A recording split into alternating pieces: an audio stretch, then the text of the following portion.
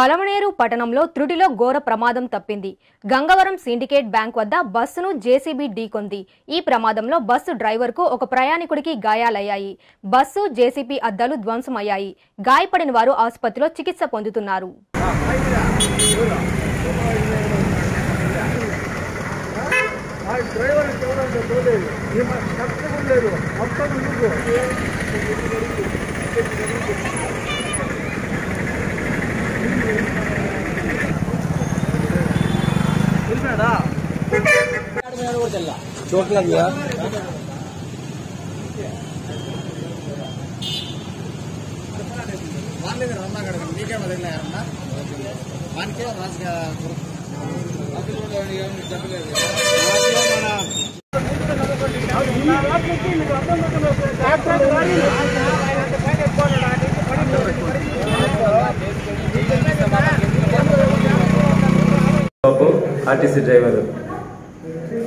JCB పైపులు అడ్డంగా వేసుకొని వచ్చినాడు సార్.